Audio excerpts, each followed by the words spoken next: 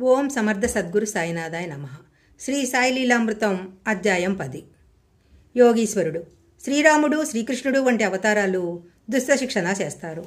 శ్రీ దత్తాత్రేయుడు శ్రీ దక్షిణామూర్తి అవతారాలు మానవులకు ఆధ్యాత్మిక విద్యను అందించి ధర్మాన్ని పోషిస్తారు. సద్గురువులందరూ వీరి రూపాలే. వీరు పూర్ణసిద్ధులుగానే అవతరిస్తారు. అయినా వారు కూడా తాము సద్గురుని సేవించి తరించామని చెప్తారు. శ్రీ దత్తాత్రేయుడు ఇరవై నాలుగు మంది గురువుల నుంచి జ్ఞానం ఆర్జించానని భాగవతంలో చెప్తారు. పుట్టగానే ప్రణవం ఉచ్చరించి ఉపనయనం అవగానే వేదాలు వల్లించిన శ్రీ నృసింహ సరస్వతి స్వామి కూడా బాల్యంలోనే తల్లికి తన నోట విశ్వరూపం చూపిన శ్రీకృష్ణునిలాగా సద్గురువుని సేవించారు.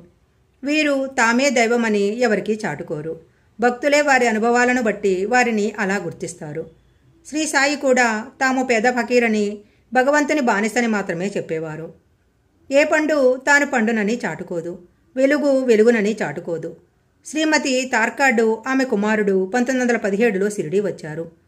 ఆ కుర్రవాణ్ణి పద్దెనిమిది రూపాయలు దక్షిణ అడిగారు బాబా. అతడు అది తీసుకుని రావడానికి వెళ్ళేసరికి కొందరు భక్తులకు ధృవచరిత్ర చదివి వివరిస్తున్నాడు జోగ్. ఆ కుర్రవాడు వెంటనే అక్కడకు వెళ్ళి తిరిగొచ్చి సాయి నన్నెందుకు అక్కడికి పంపారు? మీరు దైవం ప్రసాదించిన శక్తులు గల మానవులే కానీ దైవస్వరూపులు కారని అతడు చెప్తున్నాడు. భగవంతుడు నిందించినా కోపించడు కానీ మీ వంటి సాధువులను చులకన చేస్తే సహించడు కదా అన్నాడు. బాబా నవ్వి అతడు చెప్పింది నిజమే. నేను ఫకీరునే కానీ దైవాన్ని కాదు. దైవము ఎంతో గొప్పవాడు. ఆయనతో ఎవరూ పోలరు అన్నాడు. ఆ పిల్లవాడు సాయి మాటలతో మమ్మ ఏమారుస్తున్నారు కానీ మీరు దైవమే అన్నాడు. బాబా అతని తల నిమురుతూ నువ్వు నిత్యము సద్గంధపారాయణ నామజపము చెయ్యి అన్నారు. ఆ కుర్రవాడు అది మధ్యలో ఆగిపోతే దోషం కాబట్టి చెయ్యను అన్నాడు. సాయి సంతోషంగా అతని తల్లితో నీ బిడ్డ యొక్క సర్వబాధ్యతలు నావే అని అతని మీద తమ యోగ దృష్టిని సాధించారు. నిజమైన గురువు ఎలా ప్రవర్తిస్తాడో మనము చూశాము. సాయి కేవలము యోగమభ్యసించి కొన్ని అద్భుత శక్తులు పొందిన సాధువేనని తలచే కొందరు వ్యక్తులు ఆయన ఏమభ్యసిస్తారోనని గమనించేవారు. యోగులు తమ జీర్ణ కోసం శుభ్రం చేసుకోవటానికి మూడంగుళాల వెడల్పు ఇరవై రెండు అడుగుల పొడుగు కల శుభ్రమైన గుడ్డను నెమ్మదిగా మింగి అరగంట జిన్నకోసంలో ఉంచి తర్వాత నెమ్మదిగా బయటికి లాగేస్తారు. కానీ బాబా చేసిన ఈ దౌతి అద్భుతము.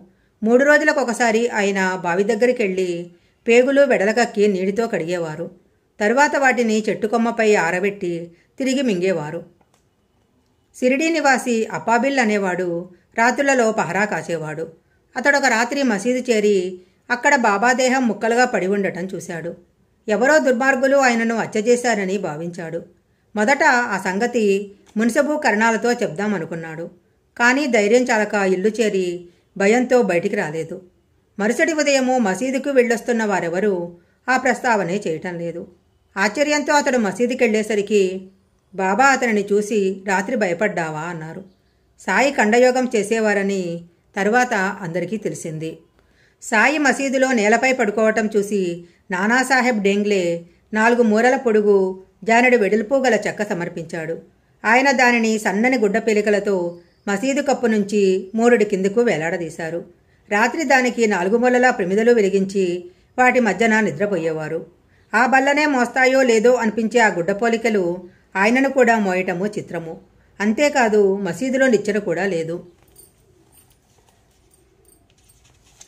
ఆయన ఆ బల్ల మీదకి ఎలా ఎక్కేవారో ఎలా దిగేవారో తెలిసేది కాదు. అంతవరకు కిందనే ఉన్న బాబా దానిపైన పడుకొని కనిపించేవారు. అలానే దిగేవారు.